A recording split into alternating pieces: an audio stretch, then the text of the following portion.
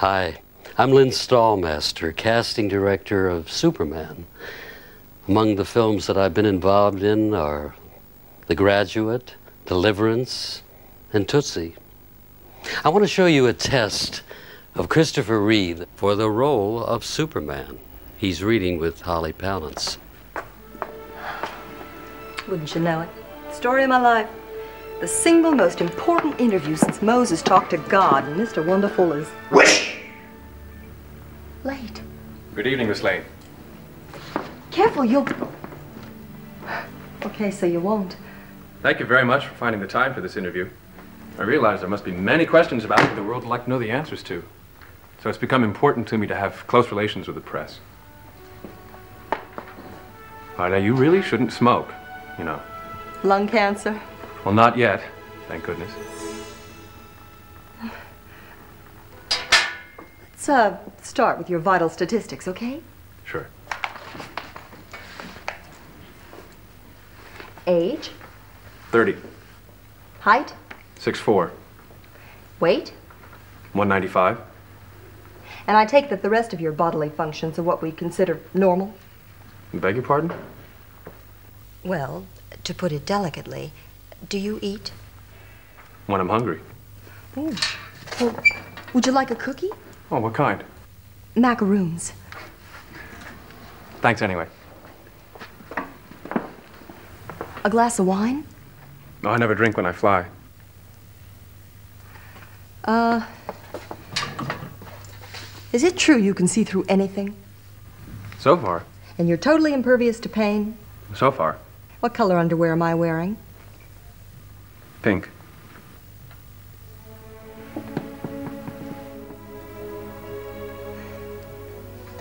And, uh. Do you have a first name? What do you mean, like Ralph or something? What's your background? Where do you hail from? Well, I come from a planet in the Xeno galaxy. It's a place called Krypton. Krypton. With a C R Y? No, no, actually, it's Krypton with a K R Y. Uh huh. And do you. like pink? I like pink very much, Lois. Look, uh, just. just. why are you? Sorry, I don't understand. I mean, why are you here? Well, there's got to be a reason for all of this.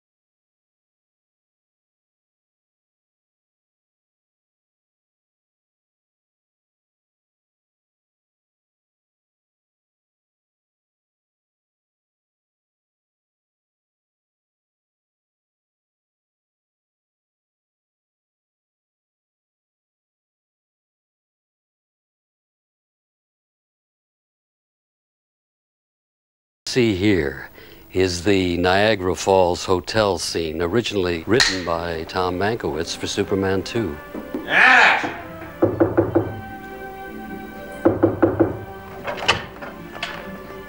Whoops! Oh my gosh. It's all right, Clark. I just didn't hear the knock. That's all. For goodness sake, Lois, the, the, the door wasn't even locked. I mean, anybody can walk in here. There you go, Clark. Running yourself down again. Oh, very funny. Being perfectly serious. Well, um, anyway. Here, little something for the newlyweds dinner tonight. Pansies. Yeah. Clark, how different. Well, uh, they, they grow wild around here. Um, You should see what they're charging for roses in the gift shop. You know something, Lois? Lois, it's, um... I, well, you know, in spite of the unreality of all this, I'm, you know, posing as newlyweds for the sake of a newspaper story. Well, in spite of myself even, I'm kind of starting to feel like one, in a way. A newlywed? You? I don't see why that should be so strange. Oh, I'm sorry, Clark. I really am. I guess there must have been lots of girls who, well, a few anyway, who. Go ahead and say it. What? that you're not satisfied being here with me. Hmm? That in, in, some way I, I don't seem to shape up in your eyes. Well, darn it, I don't have anything to apologize for. I'm a good reporter. No, I'm, I'm a very good reporter. And I'm an even better friend to you. Stand up, Clark. Stand up. Just for fun. Look at yourself. Potentially this handsome, aggressive, dynamic guy, capable of anything he wants to do. It's not my fault, Clark. You put yourself down. How? Well, in the first place, you slouch. Stand up straight for once. Go on. Good. Now, get yourself a jacket with more than one vent, and, and shoes that don't lace up, and, and a shirt with a little color or pattern in it, and a bow tie that doesn't look like a letter All- opener. all right, all right, Lois. Now I, I take your point, okay? and we, we've been through all this before. I'm sorry, but, but but but no matter how hard I try, I just never will be him. Him? Who? Who else? Superman. Hmm? No, I, I can't seem to, you know, get over the fact that you seem to think you're in love with him. Well, I'm sorry, Lois. That's that's enough now. Maybe I just can't stand the competition anymore. And maybe you just have been the competition all along. No, Lois, I've never been particularly good at riddles. And let me give you an easy one. Why, with thousands of children potentially falling off something lethal somewhere else in the world, why would Superman suddenly appear here, today, at Niagara Falls? Why not the Grand Canyon? Why don't you ask the child's family? I'm sure they And would why know. is it always when I'm with you? Up to the moment, of course, when Superman appears. You're never there, are you? You've always just disappeared somehow, and somewhat conveniently, it's always seemed I, to me. I, I was out for hot dogs, for Pete's sake. Now, you're the one who asked me to go, hmm? And when Superman arrived on the scene, I looked over at that hot dog stand. You were gone, Clark. You were nowhere. No, I was. I was. Darn it, Lois, I can't help it. If I had to go. You are Superman, aren't you? Lois, now we've been through this hallucination of yours before, haven't we? I mean, don't you remember? And can't you see what you almost did? I mean, jumping off a building 30 stories up? Can't you see what a tragic mistake you almost made? You're right, Clark. I did make a tragic mistake. What a fool I was. I bet my life instead of yours. Lois? Now, Lois, don't be insane. Now don't bother to fake it and fall down, because you'll have to get up somehow. Don't be crazy.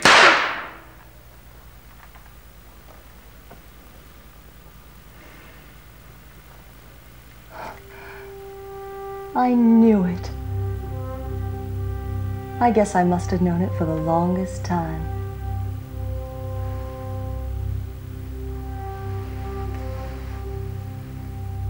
You realize, of course, if you'd been wrong, Clark Kent would have been killed. How? With a blank? Gotcha.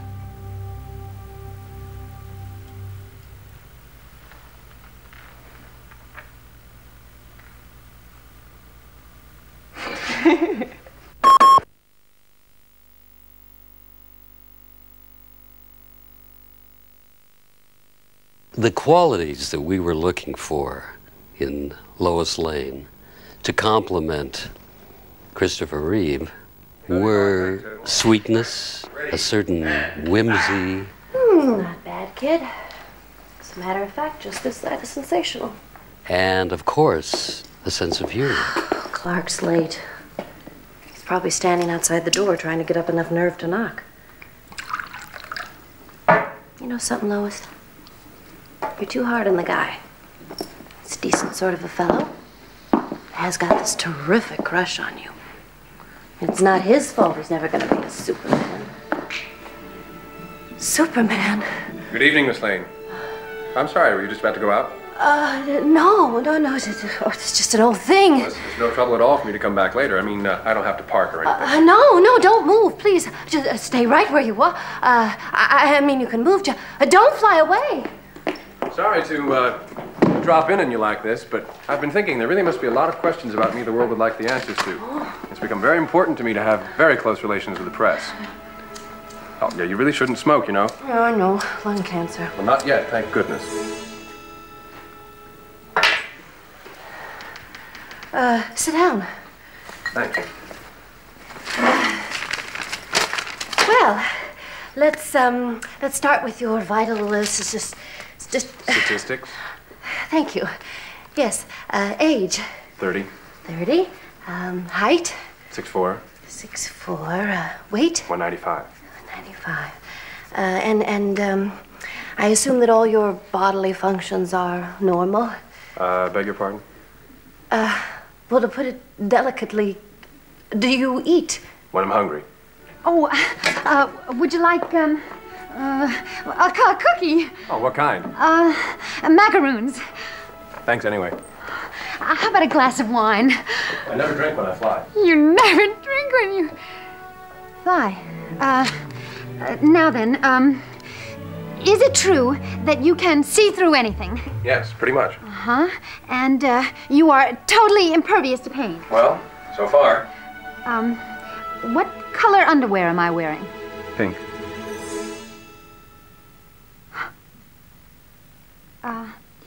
Do you have a, a, a first name? What do you mean, like Ralph or something? Um, no, I, I meant, uh, what, what is your background? Uh, where do you hail from? I come from a planet in the Xeno galaxy, a place called Krypton. Huh? Uh, Is that Krypton with a C R I? No, actually, that's uh, Krypton with a K R Y.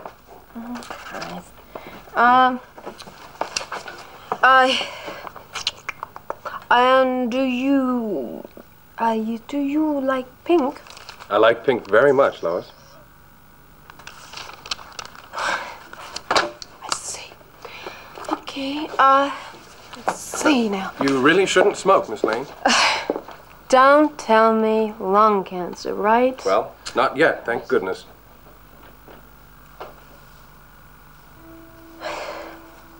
Look.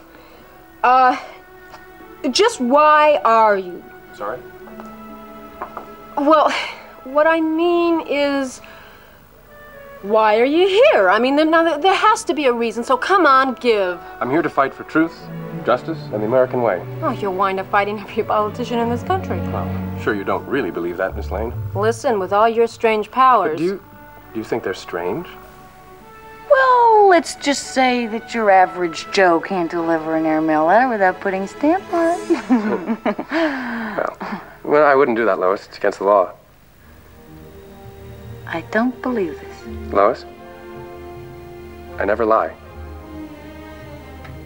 Huh. well, um, just how fast do you fly? Oh, I don't know, really. You know, I've never actually timed myself. Say, why, why don't we find out together? And just how do you suggest that we do that? Well, you could take a ride with me. Right now, if, if you'd like to. A ride? You mean I could fly? Well, actually, uh, I'd be handling the flying if that's okay with you. Phew, this is fantastic. If Clark could see me now, he... Clark, who's that, your boyfriend? Clark? Oh no, he's uh nothing. He's nothing. He's dull. Dull. He's very mild mannered. You know the type. I'm sure he's really very nice. Well, where are you going? Well, I'm gonna get a coat. Isn't it kind of cold up there? Oh, no. No, you'll be warm enough. I'll wrap you up in my cape.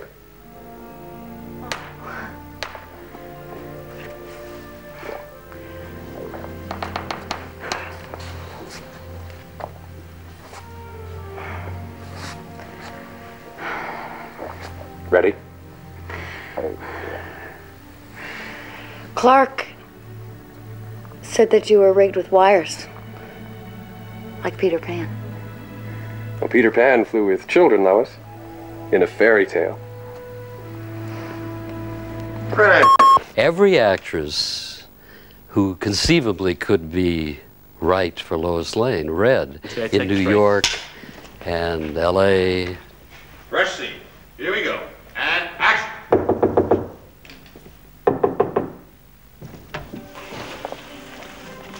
Oh, That's all right, Clark. I just didn't hear you knock, that's all. Lois, for, you, you know, for goodness sake, the door wasn't even locked. I mean, just anybody can walk in here. oh, there you go. Running yourself down again, Oh, Clark. very funny. Oh, I'm perfectly serious. Well, anyway, uh, here, little, uh, little something for the newlyweds dinner tonight. Pansies. Uh-huh. How different. Oh, would you believe they, they, they grow wild all around here? But you should see what they're charging for roses at that gift shop. Oh, I can imagine. Um, you, you know something, Lois? What? I mean, well, you know, uh, in, in spite of the, you know, the unreality of all, this, you know, posing as new, newlyweds for the sake of a newspaper story. Uh-huh. Well, you know, in, in spite of myself, actually, I'm, uh, I'm kind of starting to feel like one in a way. A newlywed? Uh-huh. You? I don't see why that should be so strange. Oh, oh, I'm I'm really sorry, Clark. Really, I'm I'm sure there have been dozens of girls who, well, a couple anyway. Okay, go ahead, say it. What? You're not satisfied being here with me. Oh. Yeah, I know. You, in some way, I don't seem to shape up in your eyes. Well, darn it, I don't have anything to apologize for, Lois. You're right. I'm a good reporter. I'm a very good reporter. And I'm an even better friend to you if you'd let me. Stand up, Clark. Uh, what? Come here. Come on. Come on. That's it. Come on. What? Now look at yourself. You see that? Yes. It's a handsome, aggressive, dynamite guy who can do anything he wants to do. Lois. It's you that's standing in your way, Clark, not me. Oh, yeah? How? Well, if for one thing you slouch, go ahead, stand up. Come on. Well, good. Okay, now, now see if you got yourself a jacket with more than one vent, and, and, and shoes that, that didn't lace up, and shirts with a little color or, or a pattern or something, and a bow tie that didn't look like a letter opener. All right, all right, know? all right, Lois, Lois, you've made your point, and we've been all through this before. Hmm? I'm sorry, but no matter how hard I try, I just never will be him. Him? Who? Who else? Super, Superman. I can't help the fact that you seem to think that you love him. It's something I'm gonna have to learn how to live with. But darn it, Lois, that's enough now. And Maybe I just, I just can't stand the competition anymore. Well, maybe you've just been the competition all along. Um, Lois, you, you know I've never been particularly good at riddles. Well, then let me give you an easy one. Why do you think, with all the thousands of children potentially falling off something lethal somewhere else in the world, why do you think that Superman just happened to appear here today in Niagara Falls? I mean, why not um, the Grand Canyon? Uh, well, why don't you ask the child's family? I'm sure they would. And, and why do you think it is always when I'm around you? Right up to the moment, of course, when Superman appears. And then, uh, you're never there, are you? Well- Somehow you've just disappeared. Rather conveniently, I always think. I was out for hot dogs, for Pete's sake. You're the one who asked me to. Well, Clark, when Superman appeared, I looked over that hot dog stand. And you weren't there. As a matter of fact, you were nowhere to be seen. Well, I mean, Lois, you know, I, I, I can't help it if I, I had to go to the bathroom. You are Superman, aren't you? Lois, Lois, no, no, no, we, we've been all through this hallucination of yours before, haven't we? Hmm? Can't, can't you remember what you almost did? Can't you remember what happened the last time in jumping off a building 30 stories high? Can't you see what a tragic mistake you almost made? Yes, I did make a mistake, Clark. I risked my life instead of yours. Lois? Lois, don't be crazy. And don't bother falling down, because you're just gonna have to stand up again. Lois, Lois, don't be insane! Lois!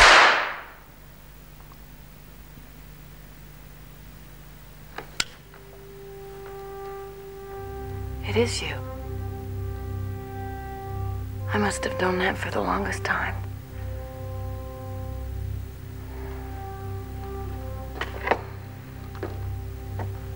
You realize, of course, if you'd been wrong, Clark Kent would have been killed. With a blank? Gotcha. Good. Astonishingly enough, these screen tests were recently found in a film vault in England.